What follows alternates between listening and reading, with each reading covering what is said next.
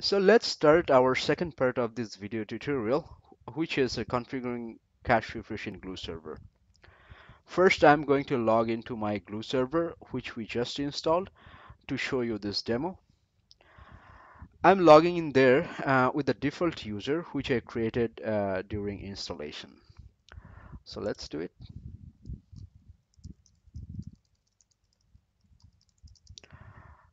This is our mm, test Gluu server.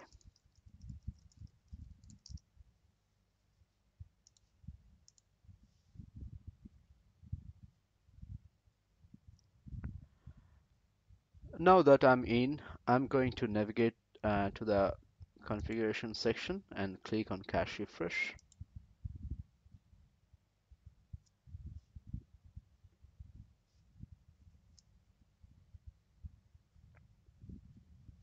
So for our primary job, we need uh, just three sections shown here among four. The first is uh, cache refresh, and the second is customer backend key slash attributes, and the third is uh, source backend. Let's uh, let's start with the second uh, second one, customer backend. The first thing uh, to consider is the key attribute this is the primary attribute of your backend LDAP server. As for example, the most popular Active Directory primary key is SAM account name. If um, if your primary name is SAM account name, then you need to put it here, or it it varies from organization to organization. For our case, it's uh, UID or username. The second piece of information uh, you will need to enter is the object class. For this, you need to provide the proper object classes here to pool users information properly. For our case, and uh, the only object class is person. Next is a source attribute. This is the list uh, which we are going to pull from our backend directory server.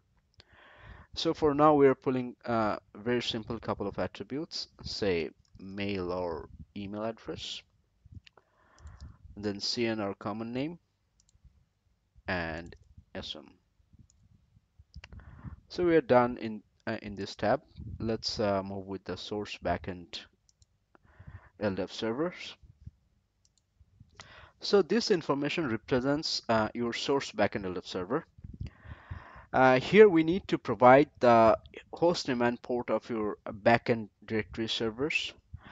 Uh, we also need to provide BindDN information and the password uh, for that BindDN user as well. So let's start. Um, the name source, it can be anything. Uh, we're giving it, uh, it, source just to align with the source backend LDAP servers tab name. Then the BindDN information. For our case, it's uh, cn equals directory manager. One quick note to mention, uh, for BindDN, you might need to provide the full free location of that user which you are going to use as BindDN user. Uh, uh, that's uh, specifically true for uh, Active Directory. So max connection might be anything, depends on, on your policy and architecture. Uh, we're giving, giving it three servers. the hostname and port of your backend directory server our backend LDAP server is uh, myldap.gluu.org 1636 as uh, this one is um, SSL port so we need to enable use SSL button here. Uh, then let's click on BindDN button. Uh, sorry basedn button. A basedn is where your users are located in your uh, backend directory server in our case it's uh, o equals to people. O equals to gluu. Change bind password. This is the password of your BindDN user.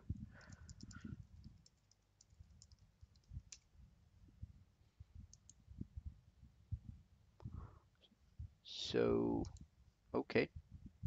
So we're done here with this tab as well. I Inum LDAP server you don't need to put anything in, in the Inum LDAP server fields here. The Gluu server automatically takes this information from your installation and infrastructure. this information relates uh, to the LDAP server inside your Gluu server so let's keep it as it is now let's click on the first tab cache refresh here uh, first of all uh, we're going for the source attribute to destination attribute mapping. Let's click on on this button. So here on the left hand side you need to put the name of the attribute which is uh, in your backend directory server. And on the right hand side uh, the name of the attribute into which we're going to pull the value of that backend directory server information. For example if you're using active directory generally it's sam account name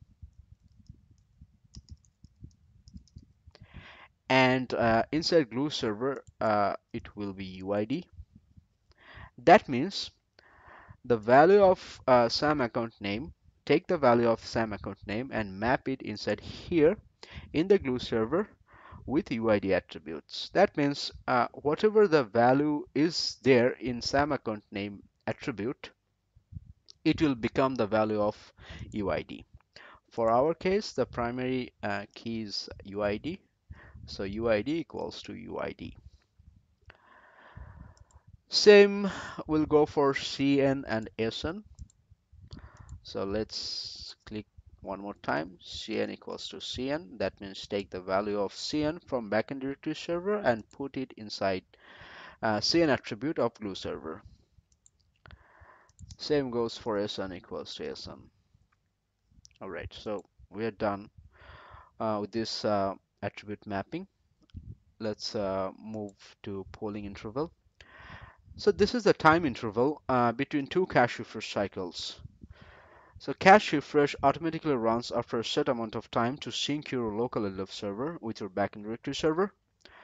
The standard polling interval is 15 minutes. Uh, please keep in mind that the larger the search, the less often you want to run cache refresh. So if you had 2 million users in your database, you would uh, want to run cache refresh less frequently, say every hour or every day. Our test database is small, so we are just uh, putting 5 minutes here. Then server IP address. This is the IP address of your uh, Gluu server. That means uh, we need to put the IP address of test.gluu.org here. So let's put it. This is the IP address of our uh, of of that VM where test.gluu.org is installed. So that's it. Let's uh, let's hit update to save the uh, setup which we just performed. So now uh, it's time to enable the cache refresh uh, section here. Let's enable it. As we provided five minutes uh, here in the polling interval so the cache refresh cycle will begin uh, in five minutes. Okay so let's check the status uh, of our cache refresh. All right great so as you can see updates uh, at the last run 101 so it ran properly. Now let's search for one user. Let's see uh, if the user is here. And the Gluu tester which uh, I mentioned earlier. Gluu tester.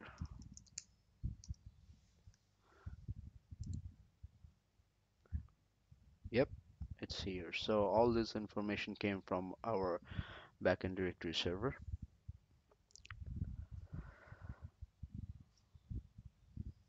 So that's it. We're done with uh, with our cache refresh uh, activation, and it ran properly.